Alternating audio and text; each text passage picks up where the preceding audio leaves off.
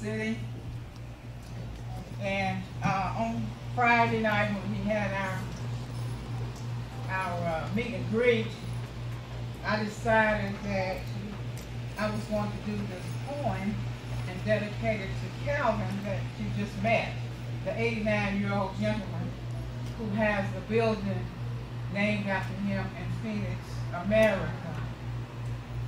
Calvin, when I went there, we went there for a family reunion in um, 2014, and I was able to go to his building, the building that was named after him, and he had a wall full of honor uh, plaques and so forth, awards.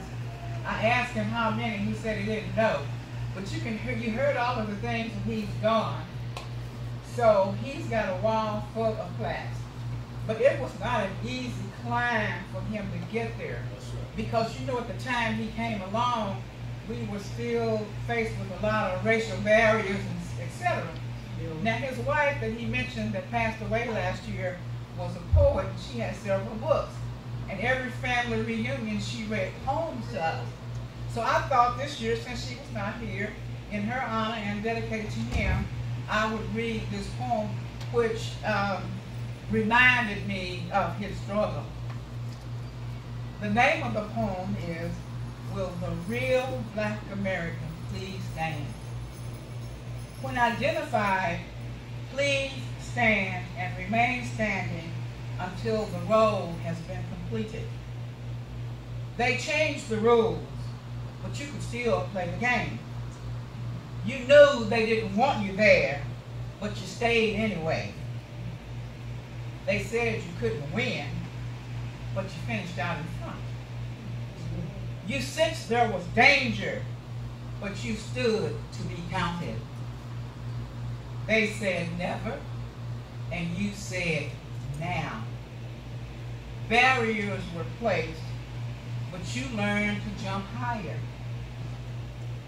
They thought they had locked you out, but you found the key. The for sale sign was taken down, but you moved in next door.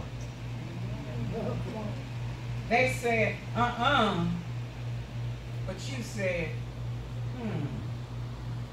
Someone else was given the job, but you found another. They thought you were down, stood back up.